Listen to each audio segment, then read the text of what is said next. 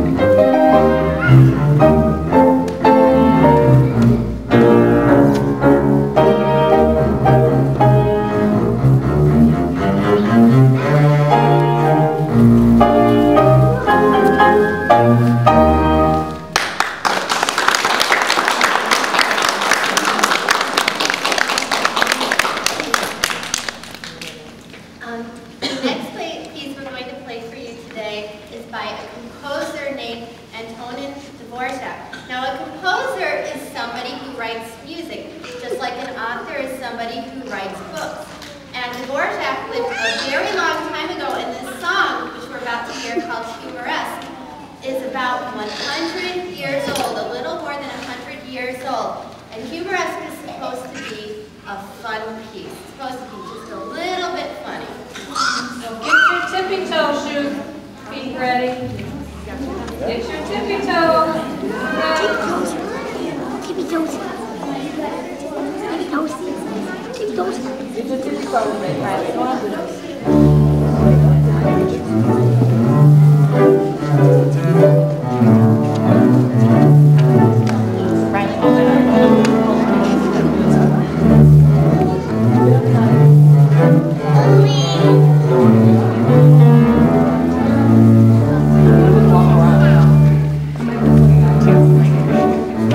Amén.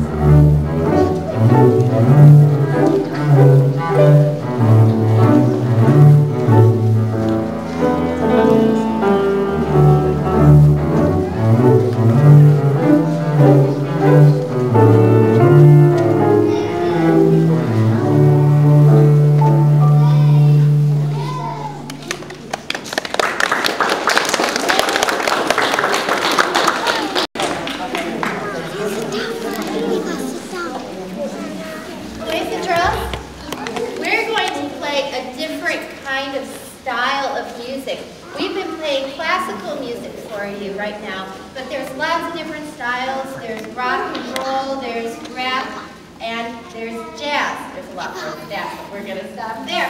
The next piece we're going to play for you is called Take the A Train, and it's a very famous jazz song. It was written by a composer named Billy Strayhorn, and he played a lot with a really famous guy named Duke Ellington. And this is a song about taking a train to go to a jazz club in Harlem, which is a place in New York. All aboard, and let's make some trains. Can you find someone to hold on to? Big trains,